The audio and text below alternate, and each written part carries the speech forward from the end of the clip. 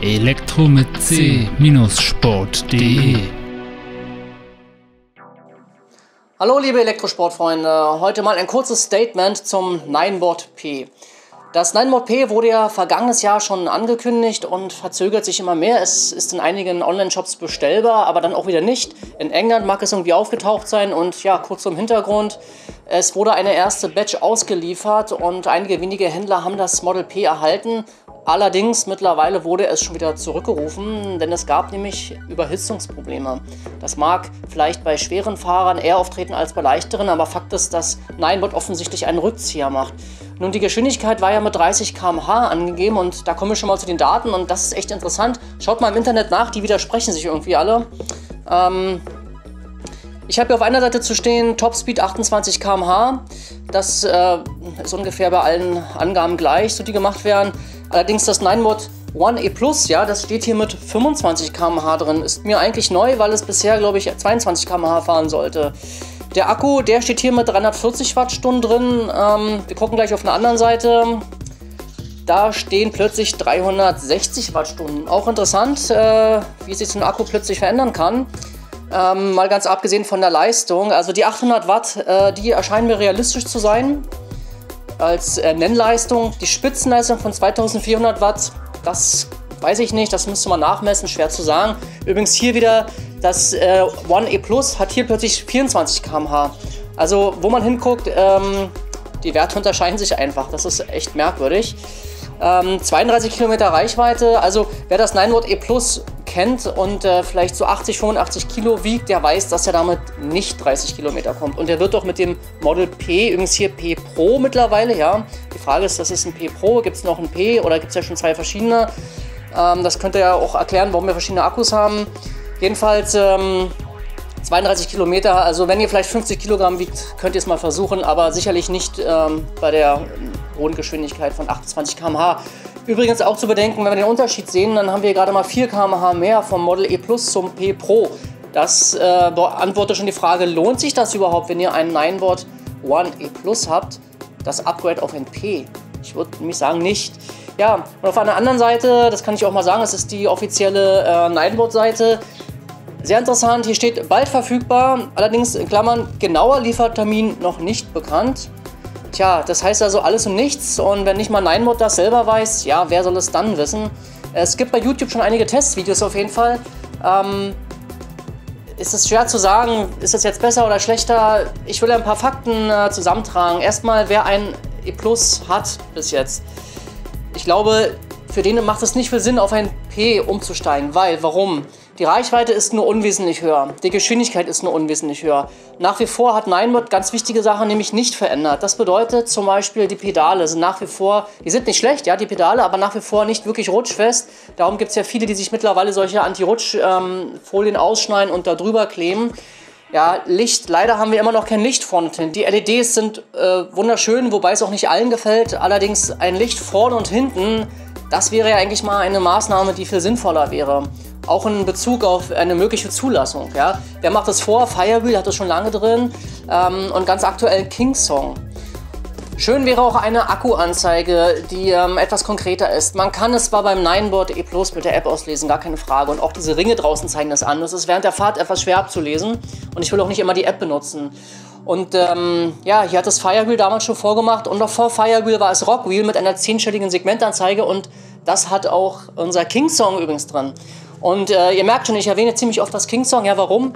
Weil aus meiner Sicht, wer sich vom Ninebot One E Plus weiterentwickeln möchte, der finde ich sollte nicht beim Ninebot bleiben. Der sollte zu einem schnelleren Rad greifen, zu einem ähm, Godway zum Beispiel, ja, ähm, was wirklich ein Performance-Rad ist oder aber eben zum Kingsong, das zurzeit wirklich alles erfüllt. Ja, ihr merkt schon, ich erwähne immer wieder Kingsong. Ähm, das hat damit zu tun, dass Kingsong derzeit wirklich irgendwie alle Standards erfüllt. Also wir haben eine ähm, sehr, sehr coole App, die sich super schnell verbindet, ohne Probleme. Die ist übersichtlich einfach gestaltet.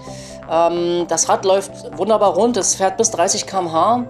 Und ähm, die Akkuanzeige ist trotzdem im Gerät mit 10 Segmenten abzulesen. Wir haben Licht für vorne, Licht für hinten. Wir haben sogar Bluetooth-Lautsprecher, können also während der Fahrt Musik hören. Okay, das ist sicherlich keine Anforderung, aber ähm, es ist eben eine ganz schöne Sache. Einzig die Pedale sind auch nicht wirklich rutschfest, ja. Aber ähm, eine Alternative zum Ninebot oder eine Weiterentwicklung aus meiner Sicht wäre zum Beispiel das KS14 oder aber das KS16, das bald kommt. Auch sehr interessant ist das IPS Zero, das dem Ninebot wohl ziemlich stark nachempfunden wurde. Also wer auf diese LEDs an der Seite steht und ähm, damit leben kann, dass vorne und hinten kein Licht ist, der kann sich das besorgen. Oder aber auch das Godway MCM4, das ja auch im Zulauf ist. Ja, gibt es denn eigentlich wirklich Verbesserungen vom E Plus zum Ninebot P? Und das finde ich ja eigentlich nicht. Es fährt schneller und ähm, hier muss man auch sagen, bisher war es so, dass man das E Plus einfach genommen hat und die Geschwindigkeitsgrenze einfach nach oben versetzt hat. Aber die ganze Elektronik, alles blieb gleich. Ich weiß nicht, ob das jetzt in den nächsten Mo äh, Modellen auch noch so sein wird, aber bisher war es so. Und genau das macht die Sache so gefährlich und deswegen hatte man auch die Überhitzungsprobleme, die es ja vorher gar nicht gab. Weil man einfach die Elektronik nicht angepasst hat. Ja, und Vorteile, ähm, es ist ja eigentlich das gleiche, es fährt nur schneller, hat möglicherweise einen etwas größeren Akku drin. Ansonsten sehe ich hier keine Vorteile. Ähm, zum Beispiel das Gehäuse ist aber noch sehr tief, es ist nicht gerade schön für Offroad. Es ist ein, wirklich ein Cityrad, ähnlich wie das Firewheel, ist ja auch bis unten zugebaut. Das ist nichts für Wallchain-Kanten oder ähnliches. Ähm, oder man muss damit rechnen, dass man aufsetzt. Ähm, auch dieses, und äh, ich will euch nicht nerven, aber auch dieses ist zum Beispiel beim Kingston KS14 wesentlich besser gelöst. Sie haben einen freistehenden Reifen, wie das KS16 sein wird von Kingston, weiß ich noch nicht, habe es noch nicht live erlebt. Ähm, vom Design ist es natürlich schön, wenn der Reifen so verkleidet ist und dem folgen ja auch andere Hersteller wie Godway zum Beispiel. Ja, aber wirklich sinnvoll, äh, Offroad ist es natürlich nicht.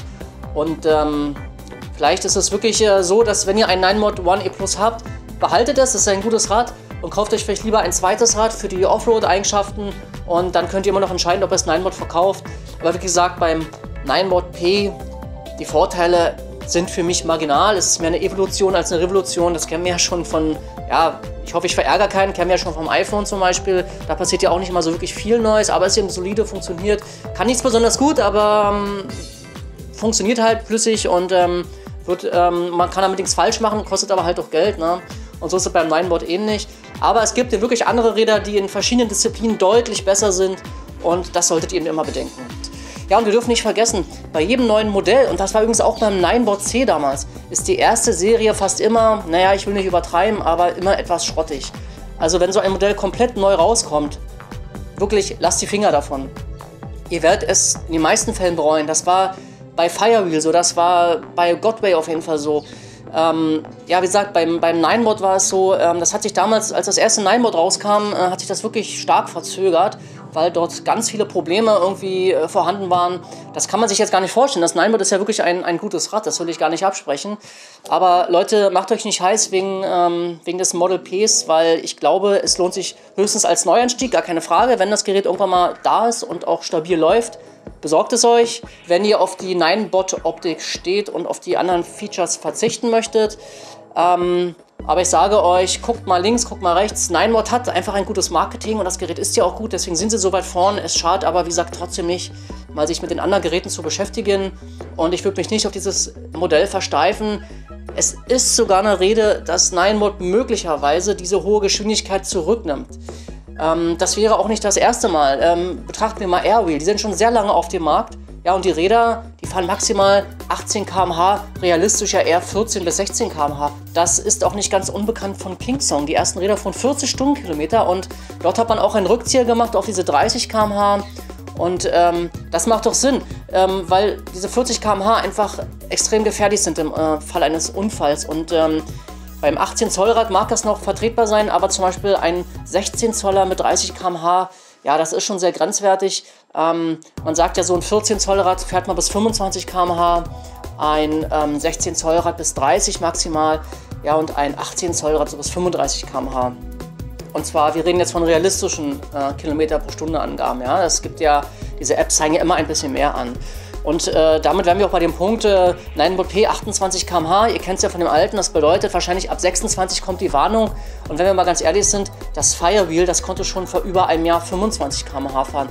Kommen wir zu einem weiteren Aspekt. Das Ninebot One E Plus hat ja ähm, einen Metallrahmen, ist aber deswegen ziemlich schwer. Nämlich mit 13,8 Kilogramm im Verhältnis zu einem 320 bis sagen wir vielleicht maximal 360 Wattstunden Akku ist das echt eine ganze Menge.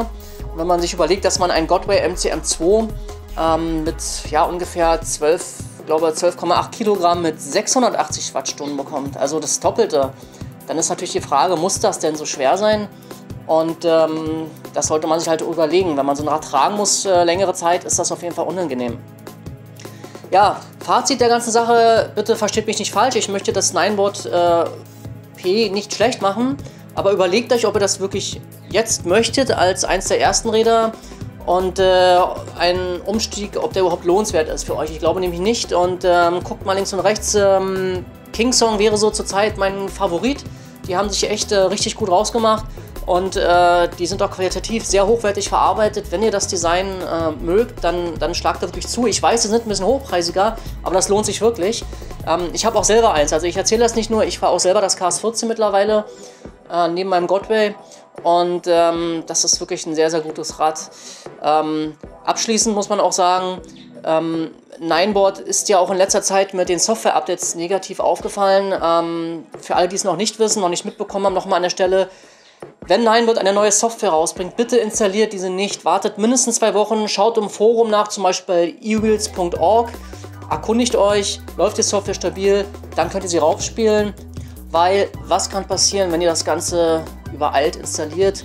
Das ganze Rad kann euch schlichtweg kaputt gehen.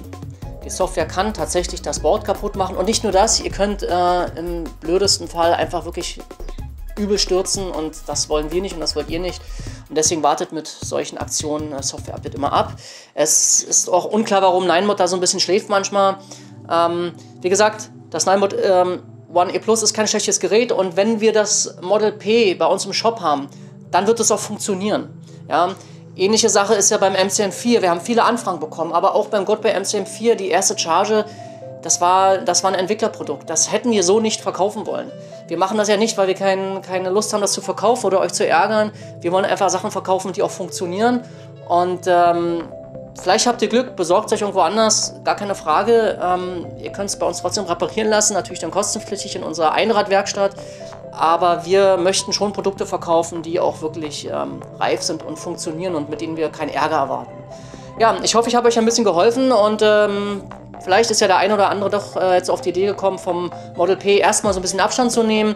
Wie gesagt, was die Zukunft bringt, wissen wir nicht. Wir haben keine konkreten Aussagen von Ninebot und ähm, wir sind selber gespannt. Wenn es das Gerät gibt und wenn es funktioniert richtig, dann verkaufen wir es auch und dann bieten wir es im Shop an. Und ja, bis dahin müsst ihr abwarten oder wie gesagt, greift zu einem anderen Modell. Ihr könnt bestimmt keinen Fehler machen und alle, die einen Ninebot One E Plus haben, es ist ein gutes Gerät, ihr könnt damit zufrieden sein. Ihr verpasst, glaube ich, nichts, ob ihr jetzt 4 oder 6 km schneller fahrt. Ich glaube, das macht wirklich nichts aus. Ja, Leute, das war's erstmal. Wenn ihr noch Fragen habt, dann äh, mailt mir einfach. Ihr könnt mir auch Kommentare unter mein Video geben. Ähm, wenn ich irgendwas falsch erzählt habe, ich äh, bin da immer offen und werde das sofort korrigieren. Ähm, aber das war so meine Einschätzung und ich denke, dass ich damit auch nicht so verkehrt liege. Und ich hoffe auch nicht, dass Neinmod jetzt auf mich böse ist in irgendeiner Weise, aber ähm, ich würde schon ganz gerne mal die Sache so klarstellen. Gerade um diese Flut an Mails, die zum Ninebot P äh, auf mich zukommt, äh, schon im Vorfeld so ein bisschen beantwortet zu haben. Und ich wünsche euch noch äh, ja, eine schöne Woche.